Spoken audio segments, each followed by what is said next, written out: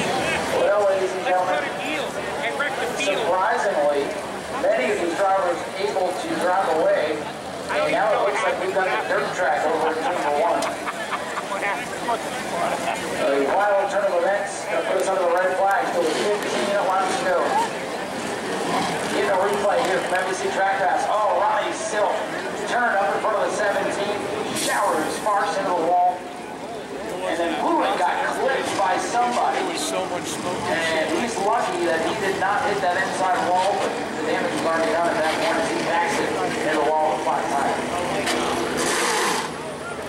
So a grinding crash. Boy, oh boy, some scar. That's tipped up into the air.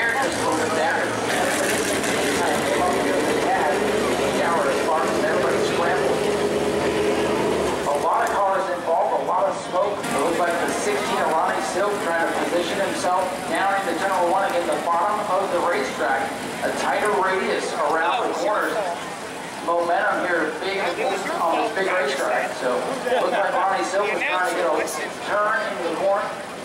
Trying to position himself when he came up across the nose of the 17. Not on purpose. The 17 didn't do anything wrong. The 16 was trying to get his line and two came together. I didn't. Catalano now on pit road car 17. Outside, Gonna take a moment to outside. I don't know if we come up. it down to Andy Knowles' machine up on the hook. I can tell you, I didn't clear up. I can tell you that.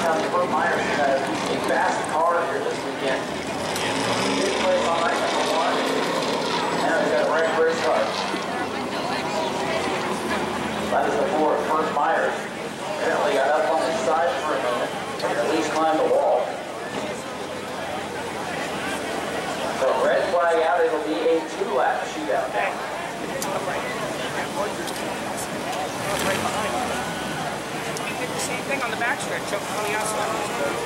It was so good for so long, so many laps we got in. As you tell, the cars were just kind of riding around by them. And now we'll get a replay here. And Burt Myers got to squeeze the wall really hard. That right front was destroyed on Burt Myers. He's the speed shot here. Hard to tell exactly what triggered it from this angle, but oh wow. Yeah, Burt Myers did climb the wall quite spectacularly there. And another reminder why you stay away from the fence at the racetrack.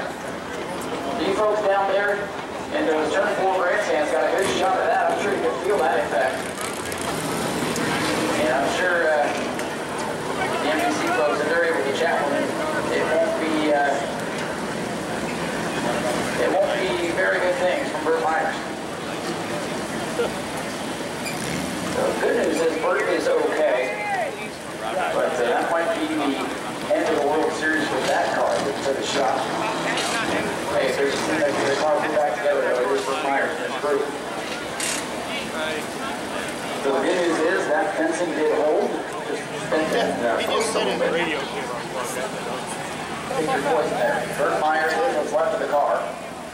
That's good.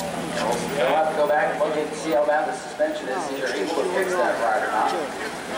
Remember, Joe Cody hit hard here yesterday. We might have another casualty here on 9 3.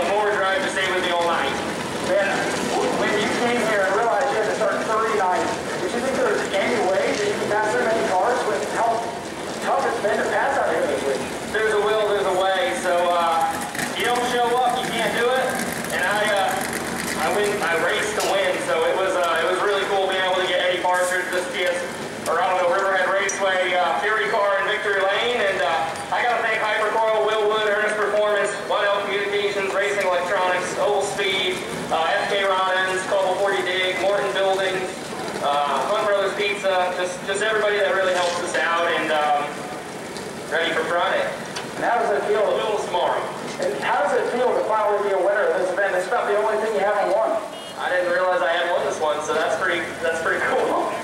All right, congratulations. Enjoy. Ladies and gentlemen, Ryan Preece, show ace winner. Now, ladies and gentlemen, we'll sneak in here. Matt Hirschman rallies back to finish second. Are you a little bit happier tonight with second, given uh, all that you went through tonight? I thank my lucky stars tonight that uh, we'll have a race for to race tomorrow night because uh, I think that's fun first car I've seen was a six, so I mean, I congratulated him on his win, but I thanked him for uh, being able to avoid me because he was the first car that could have uh, probably plowed into me. And then uh,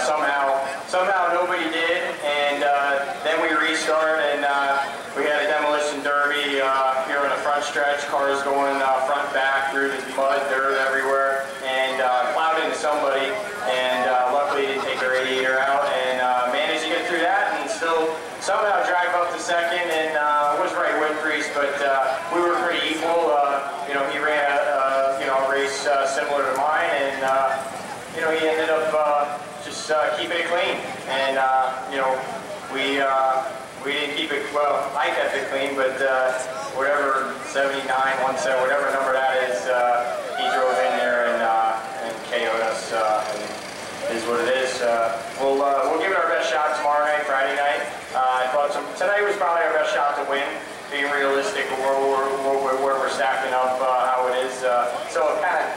Disappointed to not win when I think uh, it was our a real good shot. But uh, thankful to we'll, we'll be here tomorrow night. Well, we're glad for that too, and it's kind of shaping up like last year, a bunch of seconds and thirds, and get that big hundred lap lapper coming up. I know that's always a survival too, and you're always good in these long distance events. Well, yeah, tomorrow night's, uh, I think we're going to be survival because the way the races have been, uh, uh, we need to survive tomorrow night, and uh, the 100 lap would probably then be our next best chance. Well, Matt, congratulations, bringing it home second. Like you said, lucky to still have a race car, and he is still your point leader. I didn't think I'd be saying that at the end of this thing with about six to go. And now we'll hear from Patrick Emerling, last night's winner, similar to Tucker's adventure today. Got spun around, was in the back of the field, and here you are. You worked your way all the way back up to third. So you, you don't look too happy, but you still you still got to thank your stars here to get up on the podium on this big event. Yeah, no, it was a pretty good run for us here, and um, yeah, there was a point in time in the race I thought we were uh, dead in the water there, and um, yeah, I mean the track threw us through a little bit of a loop tonight. Our setup kind of went away there, um, but uh, you know, we were caught up in that wreck. I pancaked the right front off the wall, um, you know, trying to avoid that wreck in front of us there, and um, but uh, you know, we were able to get the car straightened out good enough, and we were able to drive and smoke a couple times, and. Uh, you know, my team did an excellent job getting the car, um, you know, pointed in the right direction for me and uh, uh, get some work done and uh, in the top three. If there was some more laps, I think they uh, we might have had something for them there. Uh, but uh, you know, I can't be, can't be disappointed. Uh, given what's happened. Uh, there was a point in time, yeah, there was a point in time. You know, I think uh, we're working to get a top ten. So uh, yeah, given the circumstances, pretty good night for. I'd like to thank everyone involved, all tech sides and uh, Captain Phipps, uh, my whole family. Um, all the guys behind me uh, do an awesome job for me, so uh, thank you to all of them. Congratulations on another great run. Patrick Emerling brings it home in third tonight.